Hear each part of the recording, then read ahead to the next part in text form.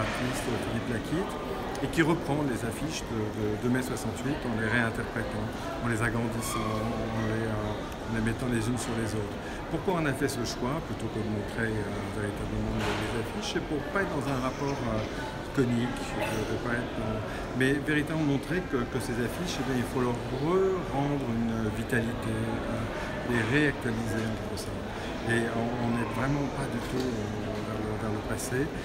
Et, ces affiches, euh, cet univers visuel, eh bien, même les gens de la génération euh, des étudiants qui sont ici, euh, qui occuperont l'espace pendant les trois semaines, eh bien, même s'ils n'ont évidemment pas connu les 68, eh bien, ils ont cet univers visuel présent dans leur, mémoire. Et, et l'idée un peu folle, c'est de de réactiver les ateliers populaires, les célèbres ateliers populaires d'où sont sortis euh, les affiches, mais aussi tous les slogans et toutes les idées de, de Et, comment ce, média, mais ce média, qui est, l'affiche, qui est le slogan, a, réussi à, avoir une puissance euh, extrêmement importante.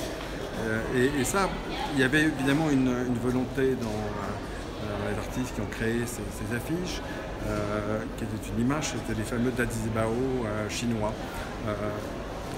Qui, ont été, euh, on voit ces, rues euh, en Chine entièrement recouvertes de, panneaux écrits. Hein.